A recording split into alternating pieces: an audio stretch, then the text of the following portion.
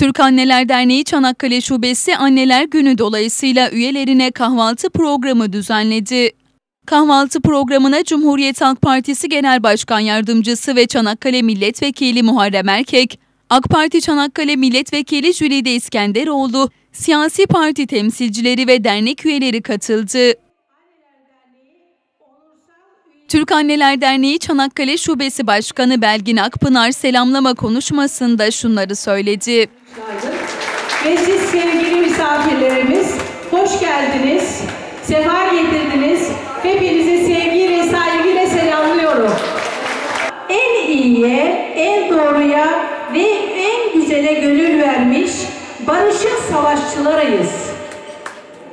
Bu savaş vurmanın, öldürmenin değil, aklın, fikrin ve yapılacağı savaşıdır. Almıştır?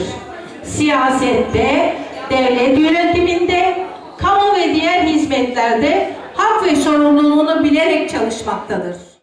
Kahvaltı programına katılan CHP Genel Başkan Yardımcısı ve Çanakkale Milletvekili Muharrem Erkek, yaptığı konuşmada Anneler Günü ile ilgili duygu ve düşüncelerini şu sözleriyle dile getirdi. Çok değerli büyüklerim, saygıdeğer hanımefendiler, çok değerli anneler. Ben de anneler gününüzü kutluyorum, saygılarımı sunuyorum.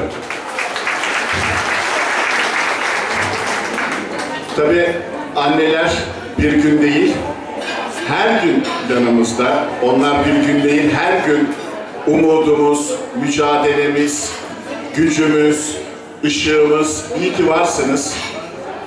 Dünyada tüm anneler aslında bir araya gelse, ben eminim tüm dünyaya sevgi hakim olur. Bu savaşlar biter, açlık, yoksulluk, kavgalar, her şey biter.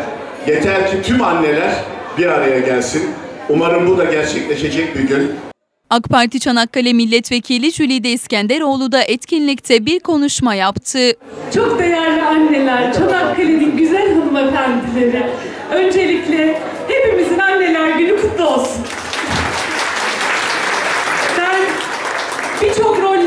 var dünya üzerinde ama en çok anneliği seviyorum.